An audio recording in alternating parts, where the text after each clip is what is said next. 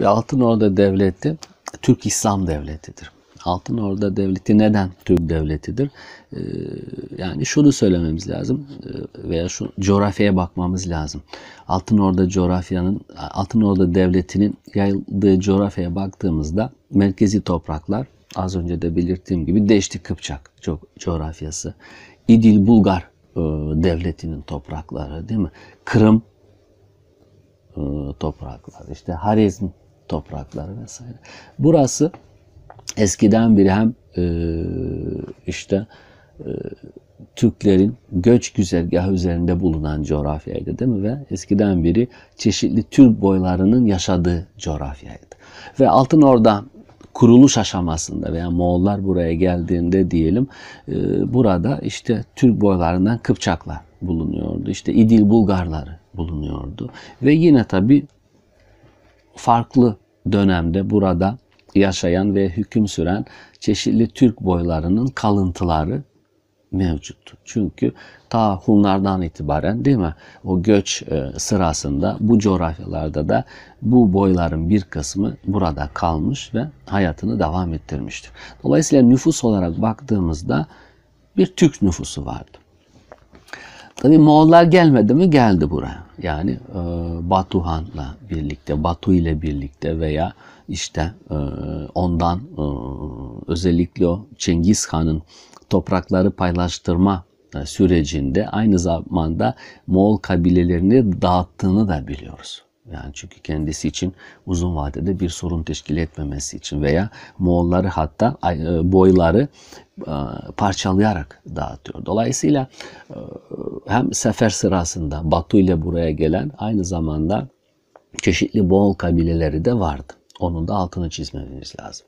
Bununla birlikte şu da bir e, soru işareti olarak kalmaya devam ediyor. İşte bizim bugün bazı Moğol dediğimiz kabilelerin e, soyu ve köküyle ilgili de tartışmalar var. Çünkü e, hem Cengiz Han döneminden hem öncesinden işte veya Cengiz Han dönemi ve işte Cengiz seferleriyle ilgili Moğolların gizli tarihinden başka şey kaynak yoktur. Dolayısıyla biz hangi boyun tam olarak Moğol, hangi boyun tam olarak Türk veya Türkleşmiş Moğol veya Moğollaşmış Türk olduğunu tespit, et, tespit etmekte çok zor ve mümkün değil. Bununla birlikte ikinci Kıpçak seferi e, sırasında buraya gelen Moğol kabileleri de vardı. Ama bunlar sayıca azdılar. Bir. İkincisi zamanla tabii ki e, yeni kabileler de gelmeyecektir. Yeni Moğol bir nüfus buraya gelmeye devam etmeyecek. Zaten Büyük Moğol İmparatorluğundan bağımsızlığını da elde edecek değil mi? Dolayısıyla herhangi bir Moğolların e, gelişinin e, devamı söz konusu değil. Onun için o kalabalık başta Kıpçak ve İdil Bulgar, Bulgar nüfusu içerisinde gelen Moğollar da ne olacak? Asimile olacaktır değil mi?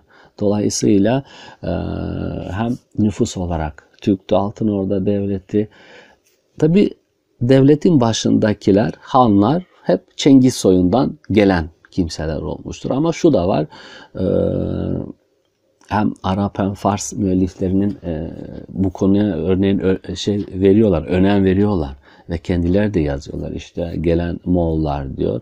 Onlar Moğol yerine Tatar diyorlar. Tatarlar işte e, Kıpçaklar arasında asimile oldular diyorlar.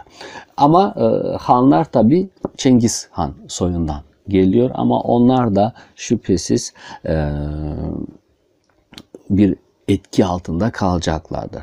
Kaldı ki daha belki Han Berke İslamiyet'i kabul edecektir değil mi? Yani 1256-66 e, yıllar arasında hüküm süren daha Berke Han İslamiyet'i kabul ediyor. Özbek Han döneminde ise İslamiyet devletin resmi dini haline e, geliyor. Dolayısıyla Altın Orda Devleti bir Türk İslam devletidir. Kaldı ki sadece nüfus olarak da bakmamak lazım. Genel olarak e, şu açıdan da bakmamız lazım. Devlet teşkilatı açısından bakmamız gerekiyor aynı zamanda. Ve o açıdan baktığımızda biz mesela Moğol İmparatorluğu'na bile bazı Türk Moğol İmparatorluğu diyoruz değil mi? Çünkü Cengiz Han kendi devletini kurarken model olarak kimi örnek alıyor? Türkleri örnek alıyor. başta Uygurlar olmak üzere. Çünkü iki tane belki örnek alacak e, devlet vardı. Uygurlar ve Çin. Ve yaşam tarzı açısından Uygurlar ve Türkler kendilerine daha yakın olduğundan dolayı. Çünkü Türklerle Moğollar yan yana asırlardır yaşıyorlar değil mi?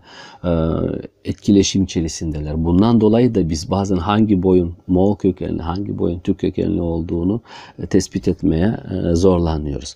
Dolayısıyla Cengiz Han kendi devletini kurarken bir Türk devlet modelini benimsiyor. Aynı zamanda Uygurları kendisine, oğullarına danışman alıyor. Önemli görevlere Uygurlara atıyor.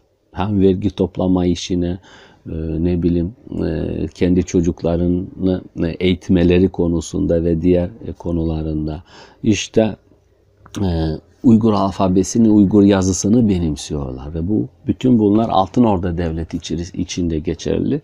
Dolayısıyla Altın Orda Devleti kesinlikle bir e, Türk devletidir. Türk İslam Devleti'dir ve nitekim Altın Orda e, Türkiye Cumhuriyeti e, Cumhurbaşkanlığı forsundaki yıldızlardan biri de e, Altın Orda Devleti'ni e, temsil etmektedir.